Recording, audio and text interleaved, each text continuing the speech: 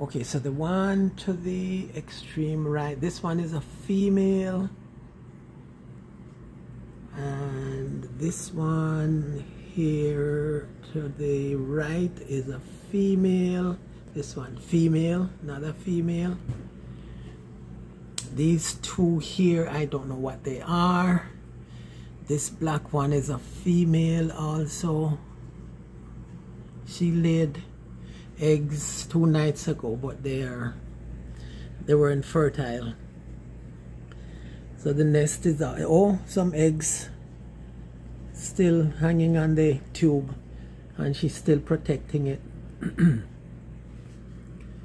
yeah.